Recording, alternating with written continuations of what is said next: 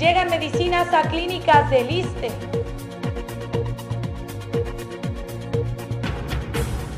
En Tampico blindarán festejos del carnaval. En los espectáculos Galilea Montijo devolverá el anillo de compromiso. ¿Qué tal? ¿Cómo está? Me da mucho gusto saludarle nuevamente. Le doy la bienvenida a este su noticiero Conexión Total.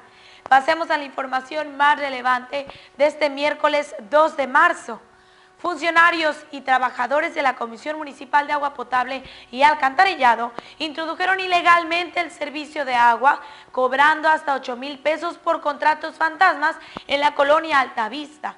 Uno de los colonos entrevistados del polígono de esta colonia denunció desde esta zona donde la vista de la ciudad pinta un contraste de injusticia social, los vecinos entrevistados señalan que más de 10 familias de dicha sección dependían de las cuatro llaves públicas que hay en el lugar para el consumo de agua. Los vecinos de la colonia revelaron que la necesidad y la pobreza los obligó a aceptar la invitación de los trabajadores de la Comapa debido a que no hay este servicio y las pipas han decidido no hacer más viajes para surtir agua. En otra información, las clínicas del ISTE empezaron a recibir ayer las primeras remesas de medicamentos para todo el estado, con lo que se tratará de sobrevivir a la aguda anemia que sufría la institución en este rubro. Esto lo confirmó el delegado Sergio Certuche Romero. El funcionario federal dijo que a partir de lunes se distribuyeron 100 claves diarias al almacén general de medicamentos para atender diferentes tipos de enfermedades las cuales se atienden en siete clínicas, hospitales y un hospital general en Tamaulipas. El delegado afirmó que a pesar de ello, a partir del día primero habrá una mejoría notable en cuanto al suministro de medicamentos en las farmacias de las clínicas, aunado a la entrega de los vales por la falta de medicinas. Aseguró y garantizó a la, a la del ISTE que se les va a surtir su receta de forma completa. Sigamos con la información. Los maestros comisionados serán regresados a su labor primordial de educar. Así lo señaló el secretario de Educación en Tamaulipas, Diodoro Guerra Rodríguez. Dijo que se habrá de cumplir la disposición del Instituto Federal de Acceso a la Información y Protección de Datos, IFAI, en el sentido de revelar los nombres de los profesores a quienes se les ha otorgado oficios de comisión, permisos para faltar a sus labores con goce de sueldo, tanto de sus unidades administrativas como de las entidades federativas. La SED va a cumplir la disposición del IFAI, por ello se ampliará la auditoría realizada en Tamaulipas y que arrojó que existían 293 comisionados.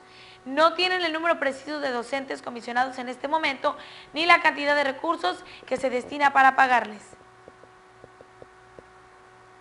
En más noticias, el PAN exige al Congreso de Tamaulipas y a la Auditoría Superior del Estado la reapertura de las cuentas públicas no solo de la pasada Administración Municipal de Tampico, sino también de Ciudad Victoria, Nuevo Laredo, Matamoros y Reynosa, tras las presuntas irregularidades financieras registradas y la elevada deuda que dejaron los exalcaldes.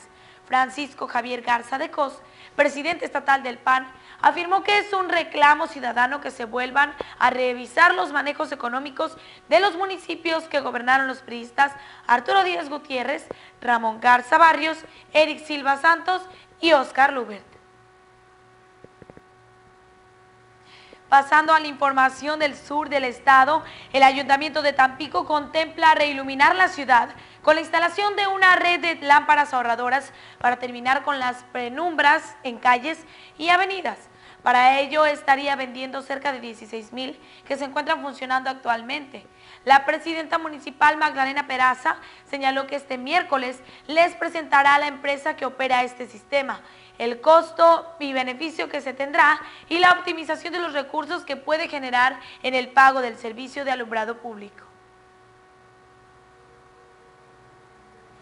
Continuando con la información del sur del estado, elementos del ejército mexicano y de la marina, así como la policía metropolitana de las tres zonas, estarán blindando los festejos del carnaval de Tampico, que se estará llevando a cabo a partir del 3 al 8 de marzo en esta comuna. Este operativo iniciará en la zona peatonal y posteriormente los recorridos se estarán llevando a cabo en el Boulevard Perimetral, donde más de 150 elementos de la Policía Metropolitana a pie vigilarán que no se altere el orden y así garantizar la integridad de los miles de asistentes.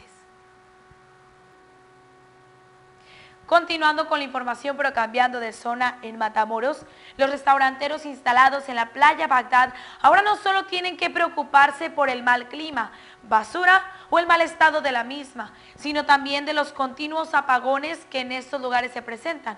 Y es que durante toda la semana han tenido problemas con la luz, pues la Comisión Federal de Electricidad no ha podido darle solución, por lo que durante las noches se tienen que alumbrar con velas.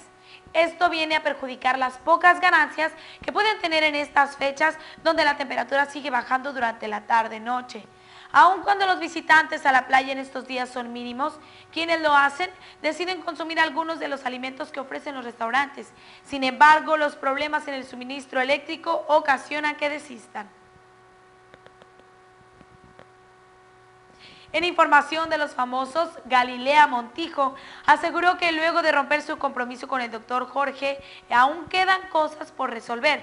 Por ejemplo, devolverle el anillo de compromiso, aun cuando él había señalado que podía conservarlo. La conductora platicó que está muy tranquila y que ahora está dedicada tanto a su trabajo como a pasar más tiempo con sus amigas, entre ellas Roxana Castellanos. Ambas conductoras han decidido acompañarse en su soltería y ahora suelen pasar más tiempo juntas. Las actrices acudieron a una fiesta para celebrar el rediseño de una revista, aunque antes hasta se arreglaron juntas. Hasta aquí la información. Muchas gracias por su atención. Permanezca bien informado a través de este su portal. Que tenga un excelente día. Cuídese mucho. Soy para Mercado y lo espero en la próxima.